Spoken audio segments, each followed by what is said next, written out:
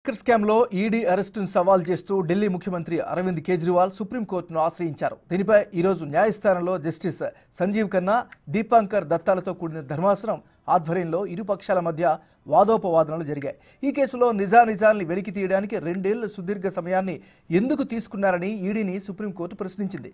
సాక్షులు నిందితులకు డైరెక్ట్ ప్రశ్నలను ఎందుకు అడగలేదని కేంద్ర దర్యాప్తు సంస్థను నిలదీసింది.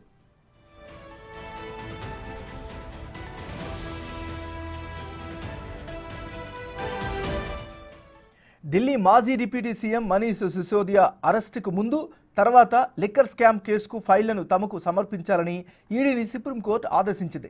ఈ కేసులో విచారణ మొదలుపెట్టిన కొత్తలో సీఎం అరవింద్ కేజ్రీవాల్ పేరు పెద్దగా బయటకు రాలేదని చెప్పారు. ఈడీ తరపున అదనపు సొలిసిటర్ జనరల్ ఎస్వి రాజు. విచారణ లోతుగా జరిగే కొద్దీ ఆయన పాత్ర ఉందనే విషయం తేట తెల్లమైందని కోర్టుకు తెలిపారు.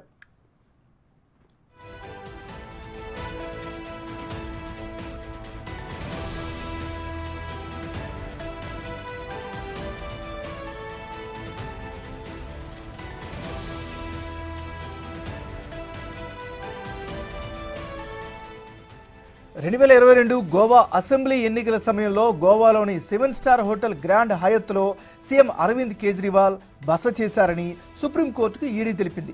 దానికి సంబంధించిన బిల్లులో కొంత భాగాన్ని ఢిల్లీ ప్రభుత్వ సాధారణ పరిపాలన విభాగం ఇంకొంత భాగాన్ని ఆపు ప్రచారానికి నిధులు సేకరించిన చన్ప్రీత్ సింగ్ చెల్లించారని వెల్లడించింది.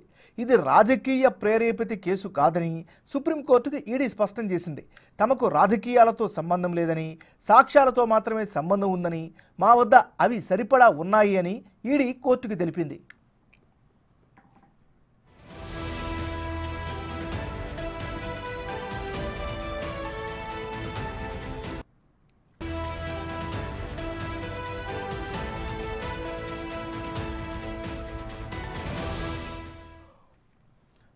ముఖ్యమంత్రికి వ్యతిరేకంగా ఎలాంటి సాక్ష్యాధారాలు లేవని ఆయన అరెస్టు చట్టవిరుద్ధమని కేజ్రీవాల్ తరపు న్యాయవాది సింఘ్వి అన్నారు. దర్యాప్తు సంస్థ ముందు హాజరు కాకపోవడం అరెస్టుకు ఆధారం కాదని వాదించారు. మొత్తంగా ఇటు ఈడీ అటు కేజ్రీవాల్ న్యాయవాది మధ్య వాదోపవాదనలు కొనసాగుతున్నాయి.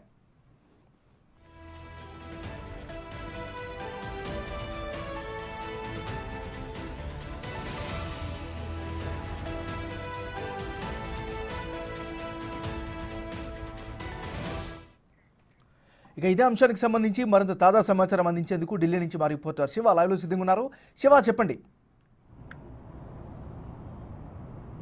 ఏమన్నారు?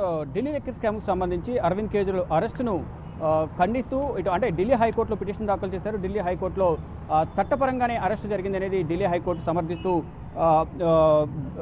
అరవింద్ కేజ్రీవాల్ దాఖలు చేసిన పిటిషన్ కొట్టేసింది. ఇక హైకోర్టు ఇచ్చిన తీర్పును సవాల్ చేస్తూ సుప్రీంకోర్టులో పిటిషన్ దాఖలు చేస్తారు దానికి సంబంధించి గత వారం విచారణ సందర్భంగా రానున్న ఎన్నికల నేపథ్యంలో అరవింద్ కేజ్రీవాల్ ఎన్నికల ప్రచారంలో పాల్గొనేందుకు మధ్యంతర బెయిల్కు సంబంధించి పరిశీలన చేయొచ్చు. దానికి సంబంధించి విచారణకు సిద్ధంగా ఉండాలంటూ కూడా ఈడీ విచారణకు సిద్ధ- సిద్ధంగా ఉండాలంటూ కూడా ఈడీకి సుప్రీం ధర్మాసనం తెలియజేసింది.